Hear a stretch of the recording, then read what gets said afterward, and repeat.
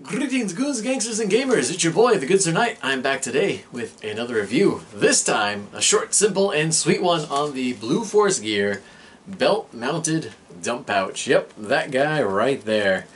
The size of my palm. Look at that.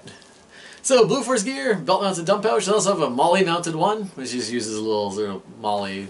You get the idea. It's got a little MOLLE tabs built onto it. This guy, however, is the belt-mounted one. So, First off, most notably, size. It saves up significant space from the previous, um, what was I using before? The uh, MDOM friggin' dump mesh pouch. That was really cool, but also somewhat bulky. And to kind of like slim down and cut down on the whole belt size, this guy is super simple, little smaller than a baseball actually. And if you pull back the belt thing, the belt mounted one uses these two things. These are connected in the center part that hangs out behind the dump pouch itself, so you're not going to necessarily lose them. And when you're using a two-part belt like this guy here, the Velcro actually helps stabilize everything. So when you're wearing all your freaking, um, you actually put stuff in there and actually use it, it um, does a pretty good job. It's small, it's out of the way. And uh, yeah, it stays a bit more stable with that. Now, that said, it's got this little pull tab down here, depending on how you fold it back up. This is all elastic on the top, and the whole dump pouch pushes in to that elastic, and when you pull this little tab, bam, you instantly got yourself a dump pouch that is purported to hold up to 10 mags. And I believe it. Yeah, cinch cord up here. The cinch cord is smart because with one hand you give that guy a pull, well, when the belt's on, anyway. the belt's on, you give this guy a pull. When the belt's on, you give this guy a pull. Give me a second, I'm to figure this out. Yeah, I'm to hold the belt here. I'm to pull here. Yeah, there you go. Give that guy a pull, and you've secured your contents of the belt. And of course, you got one of those little, I don't remember what these are called. You press down there, and you can free up the cordage and reopen your dump pouch to access whatever is in there, anything and everything. So, um, for the sake of this video, I'm going to throw this guy on real quick. And I'm going to throw, what's readily available? Um, yeah, that'll work. We're going to take our little drill bit gun we got here. So, drill bit gun doesn't fit in our actual Glock holster. So what we're going to do, we're going to put that in the dump pouch over here, like so. And we're going to give it a cinch.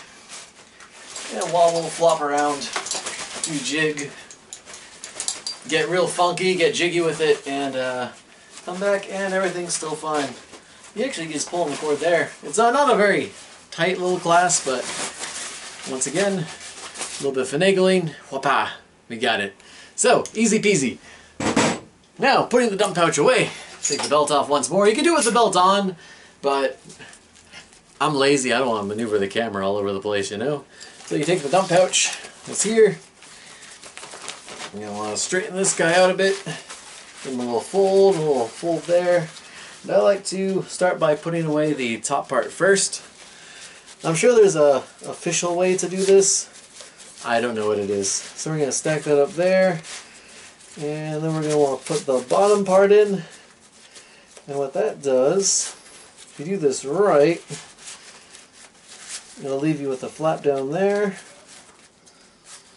Come on. This is easier to do when you can see what you're doing.